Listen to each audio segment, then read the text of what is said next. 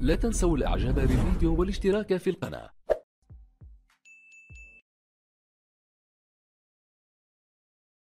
شركة سامسونج خلاص أعلنت رسميا عن هدفها الجديد واللي هينزل الأسواق قريب جدا سامسونج جالاكسي A32 ولكن نسخة ال 4G طبعا كلنا عارفين إن شركة سامسونج كانت أعلنت في وقت قبل كده برضو عن هاتفها ده سامسونج جالاكسي A32 ولكن نسخة ال 5G واللي ما نزلتش الأسواق وكانت مطروحة للبيع في الخارج بس. ولكن النسخة اللي هنتكلم عليها النهاردة نسخة ال 4G واللي هتوفر في الأسواق قريب جدا. ويلا بينا بدون مقدمات كتير نبدأ الحلقة ونشوف مواصفات سامسونج جالاكسي A32 نسخة ال 4G أهلا بكم يا جماعة معاكم هشام مبدئيا كده يا ترى هيكون في اختلاف بين النسختين؟ ده أكيد طبعا لازم هيكون في اختلاف. وده اللي هنعرفه وإحنا بنشوف المواصفات دلوقتي مع بعض. وتعالوا كده بينا نبدأ ونشوف شاشة الموبايل. اولا الشاشة هنا في نسخة ال 4G شاشة من نوع سوبر اموليد بتدعم معدل تحديث ال 60 وال 90 هرتز ودي حاجة أكيد كويسة جدا. الشاشة دي كمان بتيجي بحجم 6.4 إنش وبنسبة استحواذها هنا 84.6% من الواجهة الأمامية للموبايل. شاشة بدقة ال 1080 في 2400 بكسل وبجودة ال Full HD Plus الشاشة هنا كمان مدعومة بطبقة حماية من نوع Corning Gorilla Glass 5 وده دعم كويس جدا لحماية الشاشة من الصدمات والخدوش وللعلم إن الموبايل مصنوع من الأمام والخلف من الزجاج وطبقة الحماية هي هي برضه في الخلف ال Corning Gorilla Glass 5 دي تقريبا المواصفات الكاملة لشاشة Samsung Galaxy A32 4G طيب إيه بقى التغيير اللي حصل هنا عن نسخة ال 5G بالنسبة للشاشة؟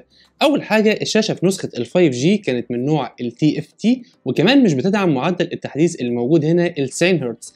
كمان دقة العرض كانت أقل بنسبة 720 في 1600 بكسل بس. يعني باختصار كده إن الشاشة هنا في نسخة ال 4G أقوى بكتير زي ما شفنا من نسخة ال 5G طيب ده كان بالنسبة للشاشة. بالنسبة بقى للمعالج وقوة أدائه في الاستخدام العادي والألعاب والميديا وكل الكلام الجامد ده. Samsung Galaxy A32 4G بيجي بمعالج من شركة MediaTek وهو معالج ال Helio G80 بتكنولوجيا تصنيع ال 12 نانومتر مع معالج رسومي من نوع Mali G52 MC2 طبعا المعالج مش من المعالجات القوية قوي في الفئة دي ولو هنقارنه بالمعالج اللي بيجي في نسخة ال 5G معالج ال Dimensity 720 5G واللي كمان بتكنولوجيا تصنيع ال 7 نانومتر فبكل تأكيد معالج ال Dimensity أقوى وأسرع كمان. ولكن طبعا زي ما إحنا عارفين مش هتلاقي كل حاجة كاملة في موبايل واحد وكمان سبب وجود معالج ال Dimensity في نسخة ال 5G طبعا عشان شبكة الجيل الخامس وقدرته على دعم الشبكة دي. ولكن لو رجعنا لمعالج نسخة ال 4G معالج ال Helio G80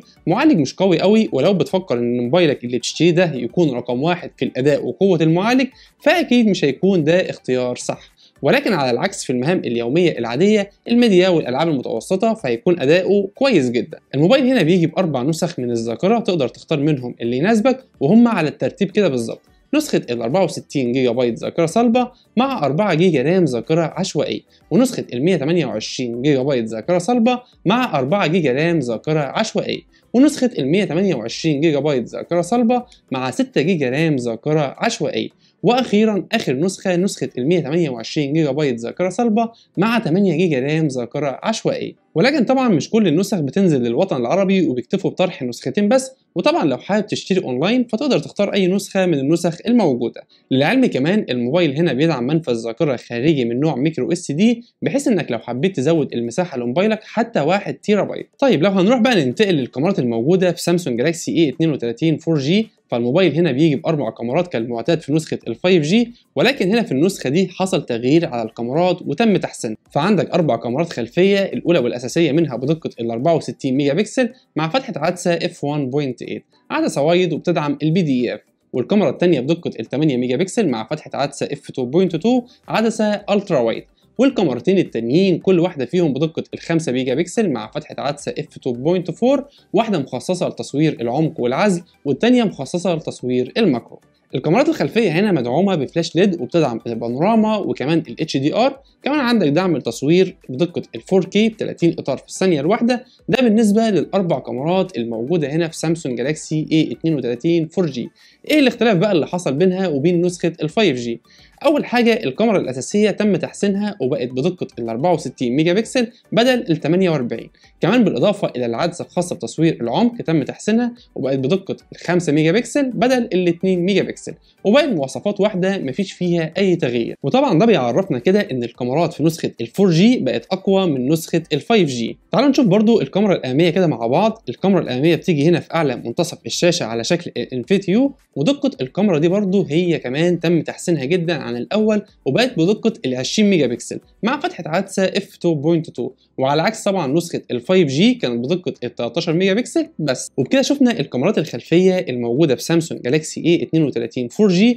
وهل هتناسبك فعلا الكاميرا وهتكفي معاك الغرض ولا هتكون محتاج كمان تحسين عن كده؟ طبعا ده راجع لك أنت واختيارك واحتياجك هيكون توجهه إيه بالظبط. ولكن أنا من وجهة نظري الكاميرات ممتازة جدا ومش محتاج أكتر من كده إلا إذا كنت مصور محترف ومحتاج مميزات أكتر من كده بكتير. طيب تعالوا بقى دلوقتي بينا كده نشوف حاجة من أهم الحاجات اللي بتسأل عليها دايما وأغلب ال users بيفكروا فيها وقت شراء الموبايل بتاعهم وهي البطارية. البطارية هنا في سامسونج جالاكسي A32 4G بتيجي بحجم ال 5000 ملي أمبير وبتدعم كمان الشحن السريع بقوة 15 واط. بطاريه مواصفاتها بالظبط نفس اللي كانت موجودة في نسخة ال 5G ما حصلش عليها أي تغيير. ولكن في المجمل البطارية كويسة جدا وهتقدم لك أداء مرضي جدا. وهتقعد معاك فترة مش قليلة خالص قبل ما تحتاج تشحنها مرة تانية. ولكن كنت أتمنى طبعا إن قوة الشحن السريع هنا تزيد شوية عن كده. خصوصا طبعا إن في منافسين في الفئة دي بطارياتهم أقوى وكمان عندهم الشحن السريع أقوى وفي كمان مميزات تانية زي الشحن العكسي وغيره. ده بالنسبة لبطارية سامسونج جالاكسي اي 32 4G دلوقتي بقى هنتكلم عن نظام التشغيل والمستشعرات للموبايل. اولا كده بالنسبة لنظام التشغيل هنا في سامسونج جالاكسي اي 32 4G فالموبايل بيجي بنظام تشغيل أندرويد 11 مع واجهة 1 يو اي 3.0 نفس نظام مواجهه نسخة ال 5G وكمان بالنسبة للمستشعرات هنا فيكون عندك دعم للبوصلة والتسارع والقرب فقط. بالإضافة طبعا لمستشعرات الحماية زي بصمة الإصبع اللي هيكون مكانها تحت الشاشة. وأخيرا بقى آخر حاجة هنتكلم عليها الألوان والسعر. بالنسبة للألوان فعندك أربع ألوان وهم الأسود والأبيض والأزرق والبنفسجي. وسعر الموبايل هيبدأ من 265 دولار أمريكي ونتمنى إن التسعير في الوطن العربي ما يزيدش كتير. وبس كده دي كانت كل حاجة محتاج إنك تعرفها عن نسخة سامسونج جالاكسي A32 4G من شركة سامسونج. يا ترى رأيكم إيه في الموبايل؟ أتمنى تسيبوا لي رأيكم هنا في التعليقات. وفي النهاية لو عجبك الفيديو ده أتمنى إنك تدعمني وتشترك في القناة وتدوس like وتعمل share وتفعل زر الجرس عشان يوصلك كل جديد إن شاء الله. أشوفكم الفيديو الجاي. مع السلامة.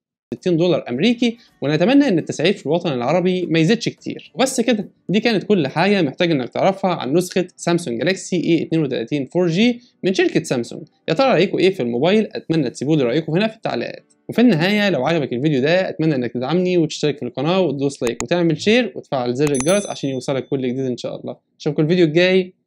مع السلامة. لا تنسوا الإعجاب بالفيديو والاشتراك في القناة.